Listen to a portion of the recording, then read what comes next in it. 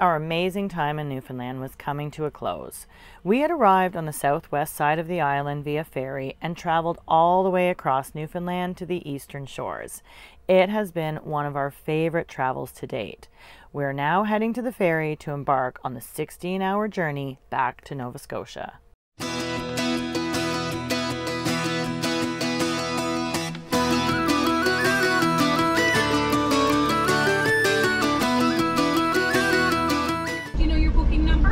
Right there. Do you guys have propane or electric? Uh, propane. Propane. Yeah. How many tanks? Uh, what? So just make sure it's turned off and Yep. tagged by 3:30. Okay. Okay, now what is this interesting little here? It is, This is new. The plant. quarantine inspection station. Oh.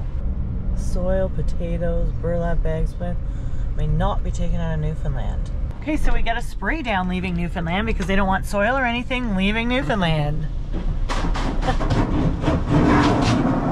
Did you just drive super slow? Oh no, we're getting it clean. Let's go really slow.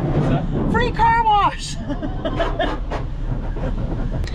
okay, folks, we have now been on a couple of ferry rides, but I'll tell you, um, I'm used to it now, but I did find it a little bit different when I first was doing a ferry. I mean, I think I did them when I was little. I just don't remember. So uh, let me just show you what it's like. Once you get to the ferry port, um, people, you always get put into a lane, um, just sort of based on the size of your vehicle and whatnot. Um, and I'm just going to show you what it looks like because essentially you have to be at the ferry a few hours before the ferry sails. It does take them an hour or so to load everybody, so you do start loading sooner.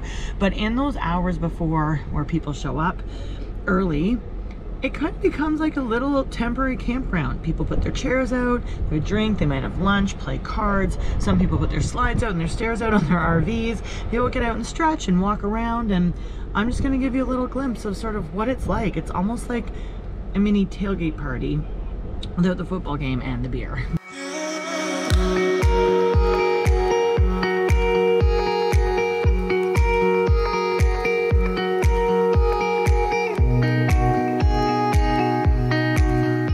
So we are here at the Argentia Ferry Terminal, which is near Placentia or in Placentia, Newfoundland. So we're taking the long ferry back. Here there is a terminal building apparently, um, washrooms. I don't believe there's a cafeteria, um, but there is something you can get out and walk around. And as you can see, most of the lanes were car lanes, um, are separate from all the RV lanes. So yeah, we're just gonna enjoy our uh, couple hours here before we start loading up. Once your lines start moving, make sure you have your boarding pass ready because they do your one last check before we get on the boat.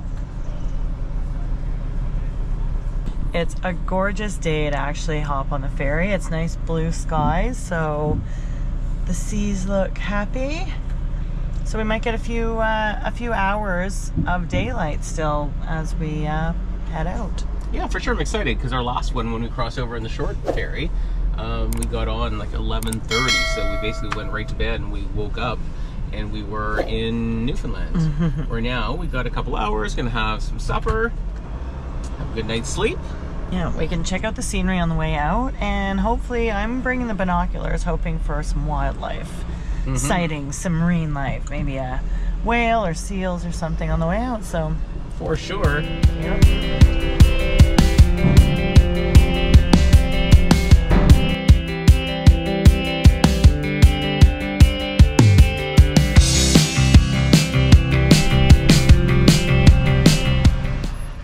Everybody, we're in our berth that we have for the next 16 hours. It was actually, it's a berth for four. I think you can get them for uh, two people or four people. Two people weren't available. Anyway, it's great because it's the bunk style again, like it was on our first ferry. However, um, we just get these up and out of the way. So the top bunks actually nicely just fold up. They're on hydraulics. So easy. You can really tell already this is a brand new boat. We can't wait to get out and explore. We have really cute, so we don't have a window this time, but we have this nice picture, very daylight feeling. There's a small little desk. There's way more plugs. Way more plugs than on the first ferry. We have this cute little chair here and this desk. There's another little area over here that has a spot to put things and a TV on the wall there. Um, there's a small little spot to hang things, and there's a couple hooks uh, that you can use there as well. And I haven't even looked in the bathroom yet. Oh gosh, okay. So very similar to the last ship, but you can tell everything is brand new. There's lots of space. There's a nice lip for the shower. I know. Oh, nice shower head. Oh, I'm gonna have two showers. One's happening tonight and one's happening tomorrow morning. Anyway, this is spectacular. I cannot wait to get out and show you guys the rest of the ship because just walking to our berth, it looks pretty top notch. Okay, let's go explore and make sure that we catch the um, leaving port. Well, we have set sail. We're off. They run a pretty tight ship. We were supposed to leave at 5. It's about 10 after 5 and uh, we've been rolling for about a couple minutes. The scenery as you're leaving here is spectacular. What we've seen of this new ship so far is unbelievable. We've only walked through and put our stuff in our berth, but we will take a more in-depth tour later inside. It literally smells like a new car. This ship is so nice. Highly recommend already from what we've seen.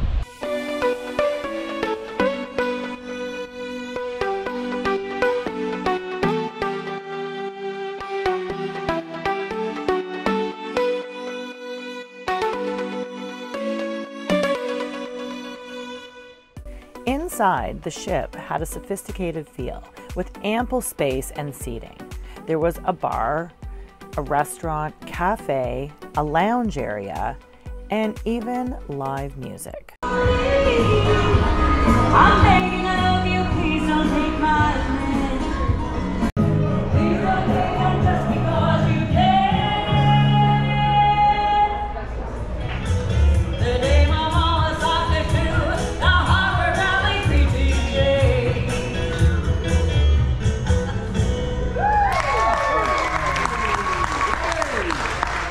Okay, so we just came to the restaurant on board, which is called Sage.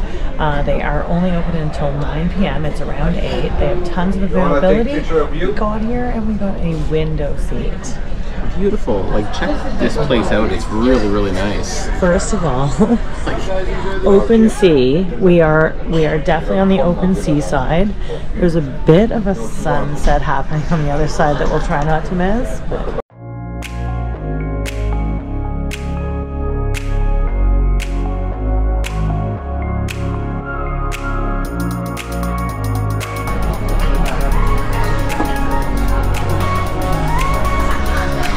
a pretty great restaurant. There's not really a bad seat in the house. There's certainly lots of windows looking out the front of the ship.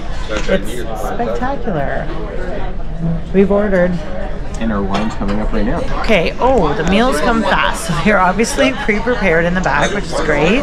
Um, Mitch has got the salmon, the pecan crusted salmon, and he's gone with the sweet potato fries with the curry mayo. I have got the cod with Brussels sprouts and uh, mashed potatoes. So let's see how the ship food is. I think it's going to be great. Okay, the salmon looks great. It's pecan crusted. It's delicious. Oh yeah. Salmon's cooked nicely. Oh, okay, nice. Mhm, Very nice. All right. So I'm gonna be perfectly honest. It's a little bit dry now. Um, you know it's been sitting under a warmer. It's not quite hot enough. So, um, but it's. I mean, it was twenty dollars for this. So it's not the best, but you know what? It's a nice restaurant for a ferry. I didn't even expect to have this as an option. I thought we'd have to eat pizza or burgers or hot dogs. So, yeah, let's go eat. Awesome. Cheers. Babe, it's beautiful. Beautiful sunset. Is a it? little chilly, but still very All beautiful. breezy. Yeah.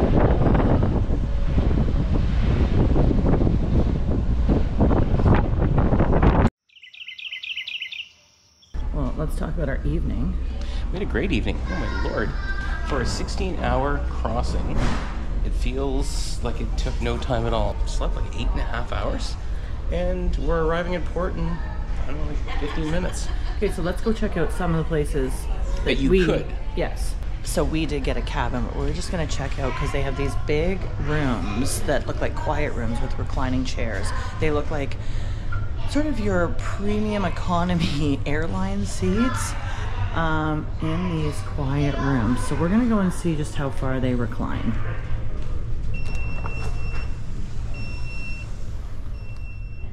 Too close to the door. This big sort of quiet room and there's TVs there.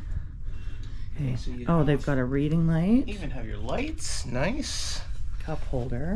Just not sure how to operate this yet. That pull up? okay, Okay. so I mean, not terrible if you didn't book a cabin. no, you could you could definitely sleep here, and you have a little tray I think that folds out. Oh, okay. Okay. Nice. Laptop work, whatever. Laptop for sure. Okay. Okay, no, that's cool. These are all the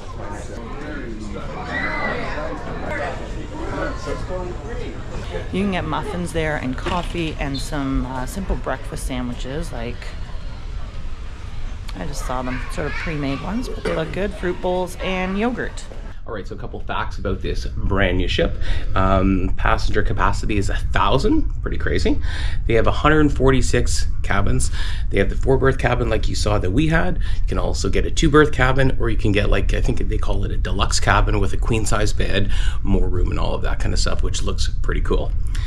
Um, they have 31 designated cabins for pets, which is awesome, and 40 passenger pods, which I think might be new because our last ship didn't have the pods. And it's sort of like maybe like a little hostel. You go into a room and there's like four bunk beds, and I think you just rent a bunk bed. Not sure how much those are, but uh, that's also an option, which is pretty cool. Okay, friends, we're disembarking. In Nova Scotia, it's a sad day.